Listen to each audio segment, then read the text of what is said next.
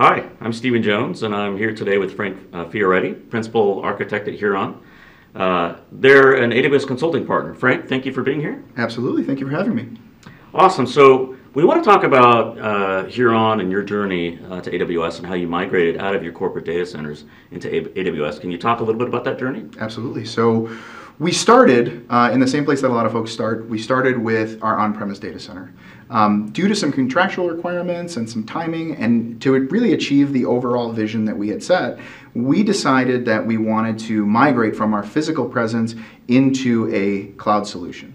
Uh, in order to do that without having to spend a lot of time and energy with refactoring and rehosting, as well as to maintain some consistency, uh, we decided to use VMware Cloud on AWS as the solution in order to migrate efficiently. Got it. So within the VMware Cloud on AWS solution, looks like you've actually comprised this of multiple software-defined data centers. Can you talk a little bit about how you organize that and then the actual process of evacuating your data center into VM. Yeah, absolutely. So the software-defined data centers are a result of our multiple business units within inside of our company. Mm. Like most people, when we had a physical data center, we had our data center, we had our racks and our hardware, but that didn't really break down evenly or cleanly to our various business units. So allow, us moving into VMware Cloud on AWS and creating multiple software-defined data centers that represent those business units allowed us to give a new level of transparency as well as visibility and the ability for them to scale independently, um, whereas they never had any of those things before. And now it's very clean and very organized and tailored to those individual business units. Got it. That makes sense. So you're actually able to isolate essentially common workloads for specific business units. And, yeah, and absolutely. And then visualize them and, and manage them efficiently as well. Okay. And as far as the mechanisms from moving from our on-premise data center up, we utilized a couple of different technologies um, in tandem. So we utilized several uh, AWS Direct Connect pairs to actually provide the backbone between our on-premise data center and VMware Cloud on AWS. This allowed us a extremely low latency and extremely high throughput and reliable, stable connection between the two data centers as we were migrating. And then on top of that, we used a technology known as HCX from VMware that allowed us to extend our existing network environment, our existing network footprint and presence between the two data centers. That's good. I like that you've chosen a well-architected, redundant path to migrate your workloads. Yes, indeed. Talk to me a little bit uh, more about uh, what HCX provided and how it actually uh, seamlessly allowed you to move some of these VMs into the VMware cloud? So with, with a migration of several thousand machines, it wasn't really feasible for us to have to re-IP every single machine mm. and then update our customers and all of our applications. So HCX allowed us to take our network segment that was pre-existing on-premise and recreate it side by side in the software defined data center and maintain the same network segment and utilize it in both places as we moved resources. This was an extremely uh, useful tool in maintaining efficiency and allowing us to complete our migration on schedule. That's great. So that essentially allows you to stretch your network from on-premises into into AWS without having to necessarily re-IP applications and things like that. Absolutely. That's great. So now that you've got, you mentioned thousands of applications That's running right. in the VMware cloud on the AWS environment, what was your next decision point?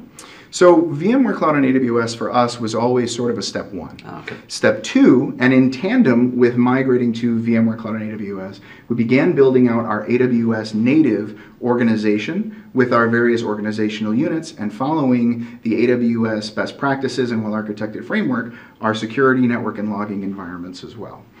Once we had built that out and we were ready to begin moving those resources from VMware Cloud on AWS over to our AWS native presence, we created those accounts inside of our organization that represent those various business units so we could continue to leverage the same amount of transparency, visibility, and granularity of management that we had established in our software-defined data centers. Okay, that makes sense. I see that over here you're using a bunch of different organizational units. Um, can you talk a little bit about why you did that?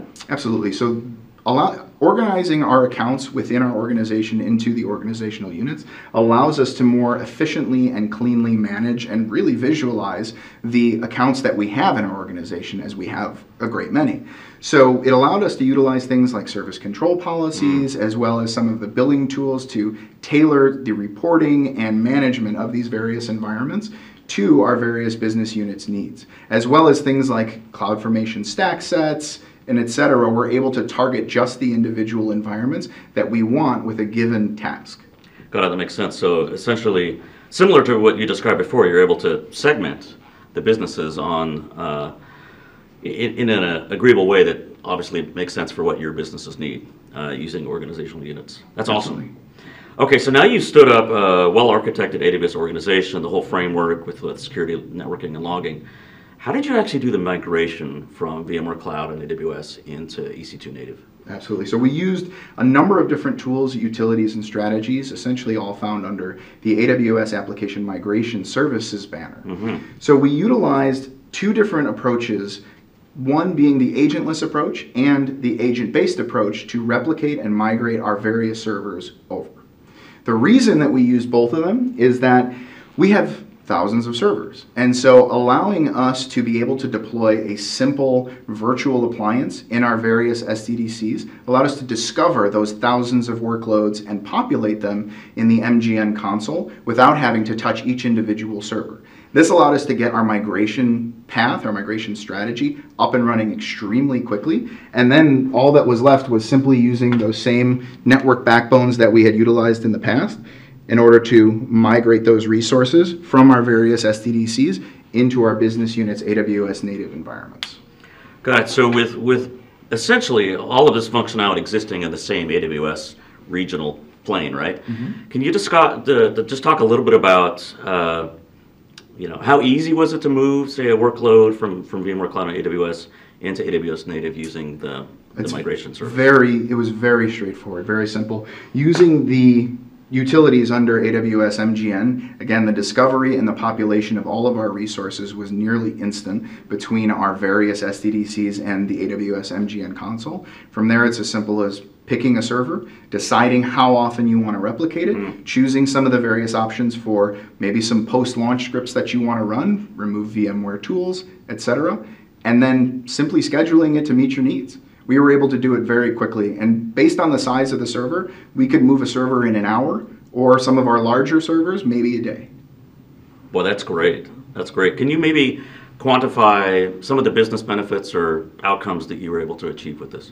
Absolutely. So, again, as I stated before, migrating to VMware Cloud on AWS was sort of a step one for us. There are all of these other technologies and services that exist in the uh, cloud native environment that we wanted to begin to take better advantage of. So when we moved servers over from VMware Cloud on AWS over to AWS native, we could then, once we had met our timelines and our strategies, we could then take the time to look at those applications and say, do we want to run this database on this server or should we start looking at RDS? Should this even be a server? Could it be a container? Could it be a Lambda function? And really, the breadth and depth of the rest of the AWS portfolio really opened up to us once we were in an AWS native environment. That's awesome. I love that. It just really opens up the opportunity now. Absolutely. Well, that's great. Frank, I really want to thank you for coming in, sharing your journey. Um, it sounds like a, a, really great outcome for you. Uh, for those that have been watching, if you would like to know more about the application migration service, please have a look at the blog post below. And thanks again.